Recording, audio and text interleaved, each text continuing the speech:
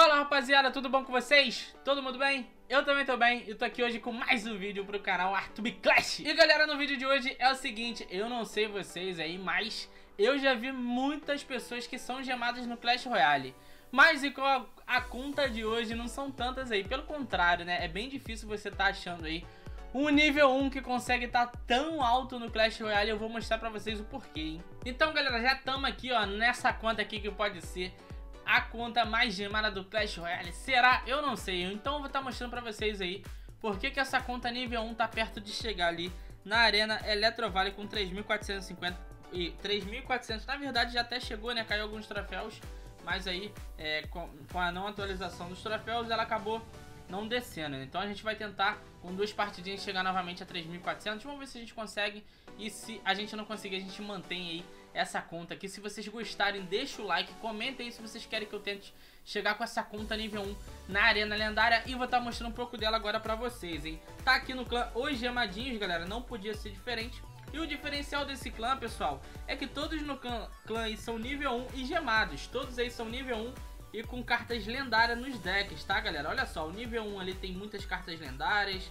O pessoal que tá mais abaixo aqui, ó, H, o HP ali, ele tá com, com carta lendária também e é nível 1. Então todo mundo que tá no clã aqui, o líder do clã ó, também, nível 1. Essa galera toda que é nível 1 e tem muitas cartas lendárias. Não é diferente nessa conta que aqui estou do meu parceiro Rony nível 1 também, né? Que ele é, tem a sua conta principal lá no clã Os Mercenários. Queria mandar um salve especial aí pro clã Os Mercenários. Então a gente tá com esse deck aqui que o Spark, né? É, ele tá ali nível 1 também. Todas as cartas são nível 1 porque eles não upam cartas para que ela não saia do nível 1. Então é um diferencial, é uma, é uma parada bem engraçada, né? Trazendo um vídeo hoje mais engraçado que propriamente técnico, com dicas, com decks, essas coisas assim. Tem que ter no canal também pra gente diversificar o conteúdo. E se vocês gostarem, quiser que eu traga a continuação com essa conta, deixe nos comentários que eu vou estar lendo todo mundo, tá? Então a gente vai estar tá abrindo também esse baú lendário aqui ao final das duas partidas. Eu vou estar tá abrindo com vocês esse baú lendário, né? Olha só, a conta é tão gemada que até nas missões ele também tem um baú lendário. Não vai dar pra abrir agora, mas se vocês quiserem que eu continue nessa conta aqui jogando e fazendo mais vídeos com ela pra ver até onde a gente chega só no nível 1. A gente vai ter o baúzinho lendário pra abrir também. Então vamos lá, vamos puxar a partida com esse deck aqui. É uma diferença enorme você só ter a torre nível 1, porque a torre no jogo ela conta demais, cara.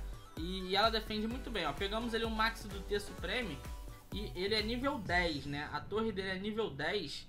Os caras não devem entender nada. Quando ele vê assim um nível 1 contra ele, ele tá acostumado a ver um, um, um nível 10, nível 9 ali nessa faixa de troféu. Então os caras devem não entender nada. Eu tenho que me acostumar, na verdade, a ter esse nível de torre, porque, cara, é muito diferente aí você ter esse tipo de nível na torre, porque a torre conta demais aí para estar tá te ajudando a você fazer a você fazer boas defesas, né?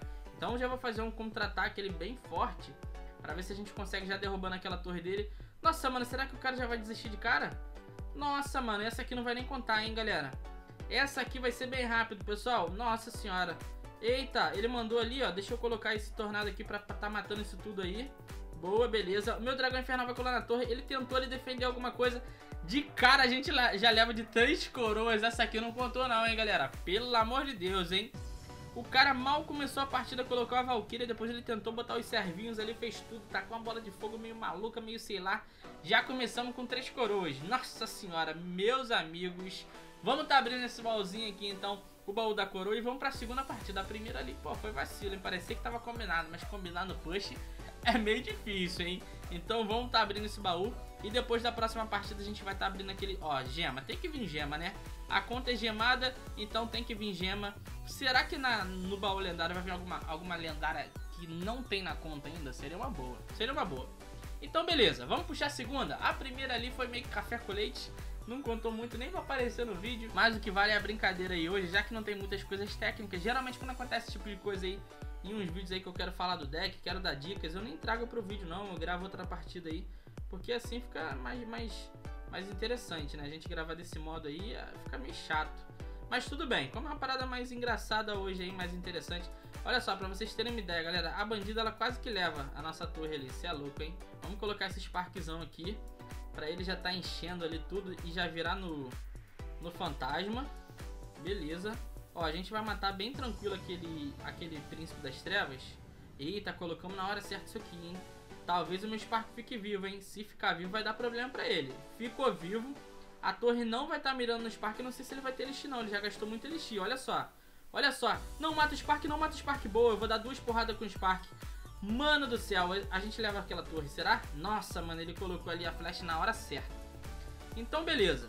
Beleza, pra vocês verem a diferença aí de, de como é que fica na partida, né? a minha torre ali, só com a porrada daquela bandida na torre, já sofri demais. E a torre dele ali, eu dei uma esparcada, colou meu, meu, meu dragão infernal e ainda assim eu não consegui levar, né? Então, vocês verem a diferença aí que tem de torre com certeza, né? Beleza, vamos estar tá defendendo esse fantasma ali só com a nossa gangue, né? Vamos colocar depois um Spark mais, mais atrasado, porque eu não sei o que, que ele vai colocar também do outro lado. Eu tenho medo que ele venha ali do outro lado. Opa, vamos colocar isso aqui aqui. Pra tá defendendo esse Mega. Será que leva tempo? Eu não sei, não tenho certeza. Eu acho que não leva não. Leva, leva, leva. Boa, levou. Então beleza. Então já levou de boa. Nossa, agora ele deu mole, hein, galera. Ou não. Vamos colocar isso aqui aqui. Beleza. Se o Spark colar mais uma vez vai ser problema pra ele. Vamos tá colocando isso aqui aqui. Beleza, colou. Olha só, hein? Tem muita chance de estar tá levando essa torre ali agora. E essa bandida? Morreu também, já era, hein? Já era, hein?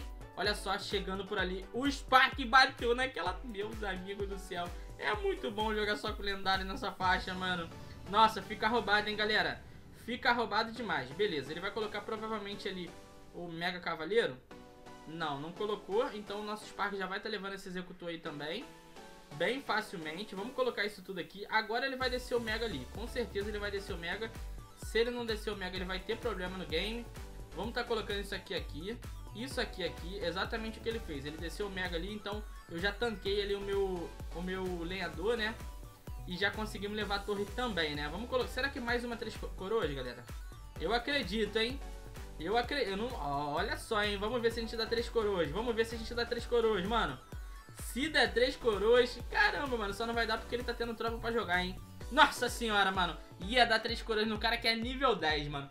Errou, mano, é, galera? Não, porque ele também tinha bastante lendário. Ele tinha um fantasma real, ele tinha bandido, ele tinha um mega cavaleiro. Então não teve diferença alguma de mim pra ele, porque todas as lendárias eram nível 1. E a torre ele tinha muita vantagem, ele que não soube aí utilizar. Então chegamos aí novamente na Eletrovare com essa conta, galera. Seguinte, hein? Vamos agora tá abrindo aí esse baú lendário, vamos dar aquela gemadinha de leve, né? Gemadinha de leve, vamos ver qual, qual lendária que vai vir. Qual lendária que vocês acham que vai vir? Sem roubar, coloca nos comentários aí qual é a lendária que você acha que vai vir antes de eu abrir. Vamos ver quem vai acertar. Não vale passar no final do vídeo e depois colocar, hein? Aí, aí acaba com a brincadeira. Então vamos tá abrindo aqui esse baúzinho. E vamos ver qual lendária, qual lendária que vai vir. Vamos ver, vamos ver, vamos ver, vamos ver. Mago Elétrico, mano. Mago Elétrico é uma carta que ele já tem, vai pro nível 2. Provavelmente ele não vai estar upando. Preferíamos, é, eu e o Rony aí, que chegasse uma carta nova, né? Seria mais interessante, poderia ter mais uma, uma abertura para novos decks, mas tá bom, tá ótimo. Veio lendário, tá ótimo. Então é isso aí, rapaziada. Entrei na conta mais gemada do Clash Royale uma das mais gemadas, na verdade, aí, nível 1 ali, na Arena 11, na Eletrovale. Se vocês quiserem que eu volte com essa conta tentando chegar com ela aí na Arena Lendária, deixa, não deixe de comentar aí, que eu vou ficar sabendo aí se vocês querem ou não. E amanhã tem mais vídeos aí com mais decks também, pra gente fazer um conteúdo bem interessante, tá? Eu vou ficando por aqui, um forte abraço a todos que deixaram o like, se inscreveram no canal e ativaram o sininho. E tamo junto! Prepara!